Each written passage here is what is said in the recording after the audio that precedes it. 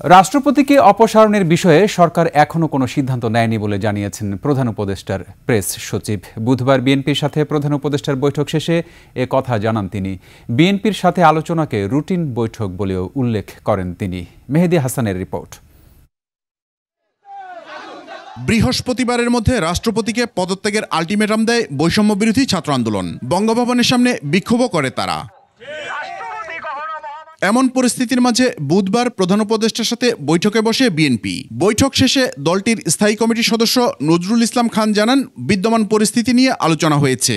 পতিত স্বৈরাচারের দোসররা যদি কোনো সাংবিধানিক বা রাজনৈতিক সংকট সৃষ্টির অপপ্রয়াস করে, তাহলে আমরা গণতন্ত্রকামী এবং আন্দোলনরত যেসব রাজনৈতিক দল এবং বিভিন্ন সংগঠন, আমরা ঐক্যবদ্ধভাবেই সেটা মোকাবেলা করব, ইনশাআল্লাহ।